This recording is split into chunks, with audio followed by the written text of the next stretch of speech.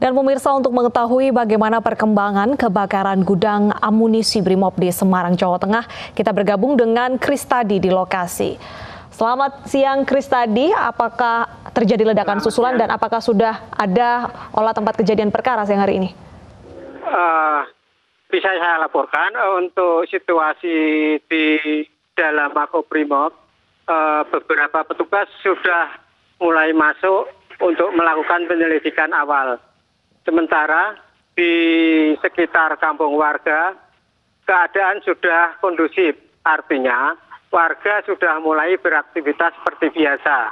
Eh, beberapa warga sudah masuk rumah dan membersihkan puing-puing. Untuk Makobrimob sendiri sudah dijaga dan beberapa wartawan belum bisa masuk ke dalam untuk melakukan peliputan. Demikian.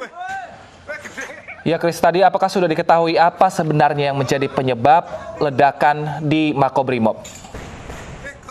Untuk penyelidikan awal, laporan dari pihak kepolisian belum kita dapat. Namun dugaan dari beberapa warga memang sejak pagi hari itu suasana di sekitar Kampung Mangga dan Makobrimob cukup terik artinya bisa diduga sebab awal karena gudang suhunya meningkat seperti dari seperti biasanya. Demikian. Baik, Kris tadi berdasarkan penuturan warga, kejadian ini apakah kejadian yang baru pertama kali terjadi?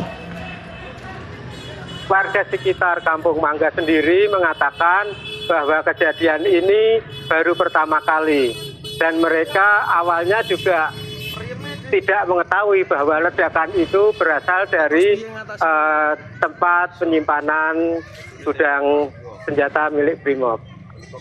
Baik, Kris tadi terdapat informasi bahwa satu anggota Brimob terluka. Bagaimana kondisinya saat ini? Betul.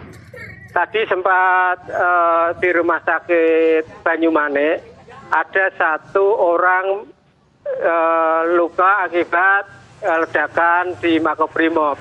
Uh, namun dari sumber yang bisa kita percayai itu dari anggota dari Makobrimob sendiri.